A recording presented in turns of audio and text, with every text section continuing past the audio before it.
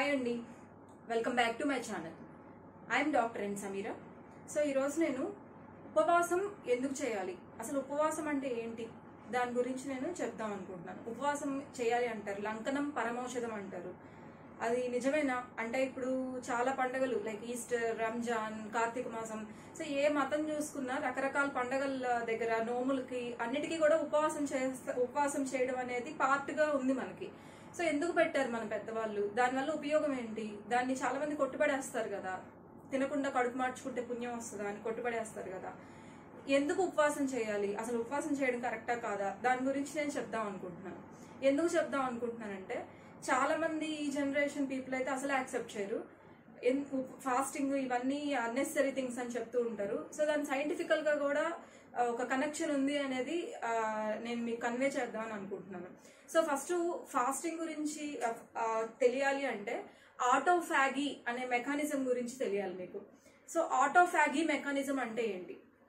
Autophagy autophagy అంటే ఏంటి అంటే ఇప్పుడు హ్యూమన్ బాడీ అనేది రకరకాల సెల్స్ సముదాయం కదా రకరకాల కణాల సముదాయం. అంతే కదా? హ్యూమన్ బాడీలో డిఫరెంట్ పార్ట్స్ ఉంటాయి. సో ఏ పార్ట్ చూసుకున్నా ఇంటి ఇంటర్నల్గా ఏముంటుంది అంటే కణాలు ఉంటాయి అన్నమాట సో డిఫరెంట్ సెల్స్ కలెక్షనే హ్యూమన్ బాడీ చెప్పాలంటే. సో ఇప్పుడు ఆ పార్టికల్ ఏదైతే ఉందో అంటే సెల్ ఏదైతే ఉందో ఆ సెల్ అనేది హెల్దీగా ఉంటేనే ఆ ఒక పర్టికులర్ పార్ట్ హెల్దీగా ఉంటుంది. అండ్ ఇండివిజువల్ పార్ట్స్ హెల్దీగా ఉంటేనే టోటల్ బాడీ హెల్దీగా ఉంటుంది. సో ఇక్కడ ఆటోఫాగీ మెకానిజం అంటే ఏంటి అంటే సెల్ అనేది అంటే కణం అనేది దాన్ని అదే క్లీన్ చేసుకుంటూ దాన్ని అదే ఫ్రెష్గా అప్డేట్ చేసుకుంటూ ఉండే మెకానిజం ని ఫ్యాగీ మెకానిజం అంటారు. ఈ ఆటో మెకానిజం అంటే cell eats its own components to make it healthy so దాని కాంపోనెంట్స్ అదే తినేస్తుంది. అంటే దాంట్లో అక్కర్లేని కాంపోనెంట్స్ ఏమైనా ఉంటాయి. అంటే యాజ్ టైం గడిచే కొద్దీ కూడా సెల్లో కొన్ని అక్కర్లే. ఇప్పుడు చూడండి మన ఇల్లు ఉంది. రోజు క్లీన్ చేసుకోవాల్సింది. ఎందుకు అంటే డస్ట్ ఫామ్ అవుతూ ఉంటుంది. సో అలాగే మన బాడీ కూడా అంతే. టైం గడిచే కొద్దీ మనం తిరిగే క్లైమేట్ అవ్వచ్చు మనం తినే ఫుడ్ అవ్వచ్చు because of many reasons different different unnecessary particles అనేవి మన బాడీలోకి ఎంటర్ అవుతూనే ఉంటాయి మన ప్రమేయం లేకుండానే. సో అలాంటి అక్కర్లేని పదార్థాలు ఏవైతే అవుట్డేటెడ్గా ఉన్నాయో వాటిని ఎప్పటికప్పుడు ఆ సెల్ దానంతట అదే తినేసి దాన్ని హెల్దీగా చేసుకునే ప్రాసెస్ని ఆటోఫాగీ ప్రాసెస్ అంటారు అనమాట ఈ ప్రాసెస్లో త్రీ టైప్స్లో సెల్ అనేది హెల్దీగా మారిద్ది. సో ఒక కణము హెల్దీగా మారే ప్రక్రియ ఆటోఫాగీ మెకానిజం. సో దీంట్లో త్రీ వేస్ ఉన్నాయి. త్రీ స్టెప్స్ ఉన్నాయి అది హెల్దీగా మార్చుకోవడానికి.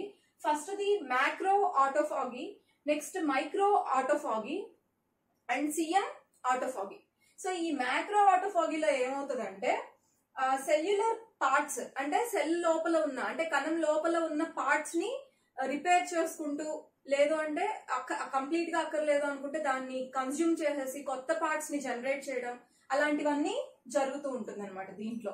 మైక్రో ఆటోఫాగీలో ఎలాంటి రిపేర్స్ జరుగుతాయి అంటే మనకి సెల్యులర్ ఫ్లూయిడ్ అని ఒకటి ఉంటుంది. సెల్లో ఫ్లూయిడ్ ఉంటుంది. దాన్ని ఏమంటామంటే సైటోప్లాస్మిక్ ఫ్లూయిడ్ అంటాం. సైటోప్లాస్మిక్ ఫ్లూయిడ్ అంటాం.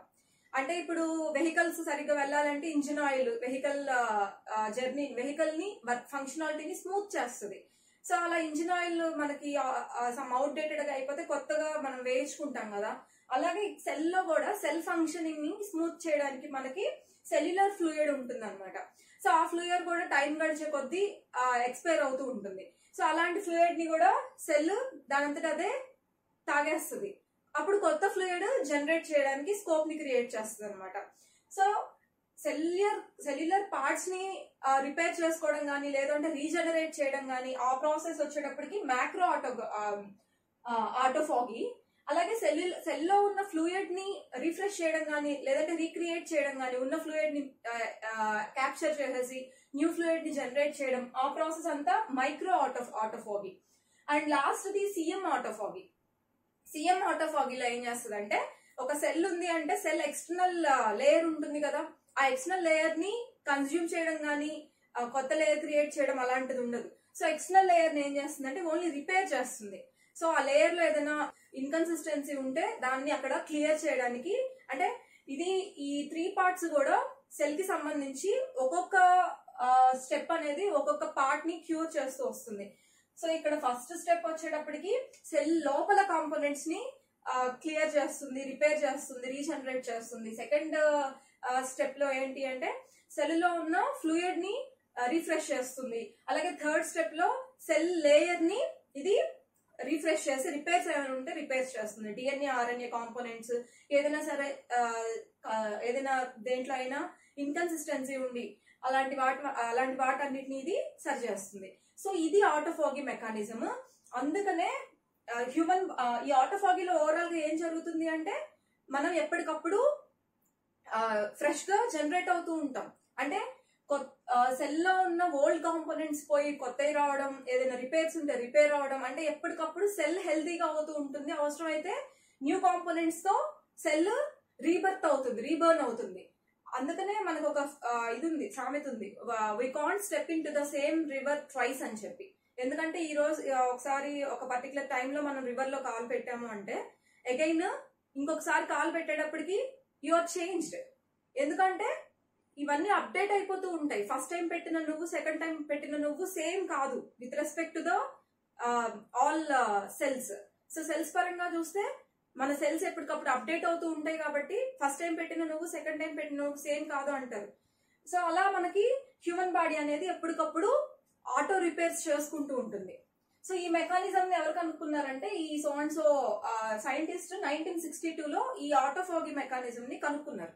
సో అందుకని చెప్పి మనకి ఏదైనా దెబ్బ తగిలినా సమ్ ఏదైనా కోసుకుంది అనుకోండి స్కిన్ పెయిన్ లేకుండా మనం పెయిన్ కిల్లర్ వాడుండొచ్చు కానీ ఆటోమేటిక్గా అది అతుక్కుంటది. ఎక్స్టర్నల్గా ఎవరు వెళ్ళి అతికిచ్చరు. ఇది ఎలా అతుక్కుంటుంది? అలాగే ఏదైనా ఇరిగిన ఈ ఎముకలు ఇరుగుతాయి సంథింగ్ ఇలాంటివి చూస్తున్నాం మనం. సో డాక్టర్స్ కూడా ఏం చేస్తారు? ఆ రెండింటిని ఆ ఇది ఇరిగిన జాయింట్ని ఇలా పెట్టి దాన్ని కట్టేసేస్తారు వాటిని పెవికలతో అతికిచ్చరు అవి ఆటోమేటిక్గా వాటిని ఆ ట్రాక్లో పెడితే అవే అతుక్కుంటాయి. సో మన బాడీకి ఆటో హీలింగ్ మెకానిజం అనేది డిఫాల్ట్గా గాడ్ ఇచ్చాడనమాట. సో దా ఎందుకు ఆటో హీల్ ఎలా అవుతుంది అంటే ఈ సెల్ అనేది హెల్దీగా అవ్వడం వల్ల ఈ దాన్ని అదే అప్డేట్ చేసుకుంటూ ఎప్పటికప్పుడు ఉండడం వల్ల మనం సాఫ్ట్వేర్ సాఫ్ట్వేర్ అప్డేట్స్ అయితే ఎలా చేసుకుంటాం ఆటోమేటిక్గా సో అలాగే ఇక్కడ కూడా మన హ్యూమన్ బాడీ కూడా ఎప్పటికప్పుడు అప్డేట్ చేసుకుంటూనే ఉండాలి. సో అది ఆటోమేటిక్ మెకానిజం జరిగిపోతూ ఉంటుంది. ఈ ప్రాసెస్ని కనుక్కున్నారు. ఓకే సో దీనికి ఫాస్టింగ్కి సంబంధం ఏంటి అంటే రీసెంట్గా టూ థౌసండ్ సిక్స్టీన్లో so and so scientist name mention here got the Nobel prize for detecting something some secret regarding the phagy regarding the fasting so ఆ సీక్రెట్ um, ఏంటి అంటే ఫాస్టింగ్ చేస్తే మనం అంటే ఫాస్టింగ్ చేయడం అంటే ఏంటి? మన జీర్ణ వ్యవస్థకి రెస్ట్ ఇవ్వడం. ఫాస్టింగ్ చేయడం అంటే ఏం తినకుండా ఉండడం. ఏం తినకుండా ఉండడం అంటే మన డైజెస్టివ్ సిస్టమ్కి రెస్ట్ ఇవ్వడం. సో ఆ ఫాస్టింగ్ మెకానిజం లో ఫాస్టింగ్ చేసే ప్రాసెస్లో ఈ ఆటోఫోగి మెకానిజం అనేది ఫోర్ టు ఫైవ్ టైమ్స్ స్పీడ్గా జరుగుతుందంట. అంటే అసలు ఆటోఫాగి అంటేనే మనని మనం రిపేర్ చేసుకోవడం ఇమ్యూనిటీని పెంచుకోవడం ఏదైనా ఇన్హెల్ ఇన్హెల్దీ ఉంటే బాడీలో దాన్ని క్యూర్ చేసుకోవడం. So nobody is perfect nobody is healthy అది అందరికీ తెలిసిందే. ప్రతి ఒక్కళ్ళలో ఏదో ఒక ప్రాబ్లం చిన్నది పెద్దది ఏదో ఒకటి ఉండే ఉంటుంది. సో అవన్నీ రిపేర్ చేసుకో రిపేర్ చేసుకుంటుంది ఉంటుంది బాడీ ఎప్పటికప్పుడు. సో ఇమ్యూనిటీ ఎక్కువ ఉన్న వాళ్ళల్లో ఇమ్యూనిటీ ఎక్కువ ఉండడం అంటే ఈ ఆటోఫాగి మెకానిజం కొంత ఫాస్ట్గా యాక్టివ్గా పనిచేయడం. వాళ్ళల్లో ఏమవుతుంది? ఈ రిపేర్ చేసుకునే ప్రాసెస్ ఇంకొంచెం ఫాస్ట్గా జరిగి తొందరగా క్యూర్ అయిపోయింది ఈ ఆటో ఫాగి మెకానిజం స్లోగా ఉండే వాళ్ళల్లో రిపేర్ చేసుకునే ప్రాసెస్ ఆటో హీలింగ్ అనేది స్లోగా జరిగి ఏదైనా దెబ్బ తగిలినా ఏదైనా ప్రాబ్లం వచ్చినా కొంచెం ఎక్కువ రియాక్షన్ ఉంటుంది వాళ్ళకి. వాళ్ళకి కొంచెం స్లోగా తగ్గుతుంది. అలాంటిది ఇతను ఏం కనుక్కున్నారంటే ఈ సైంటిస్ట్ ఈ ఫాస్టింగ్లో ఆటోఫాగి మెకానిజం అనేది four to five times speed అయ్యిద్ది అని కనుక్కున్నారు.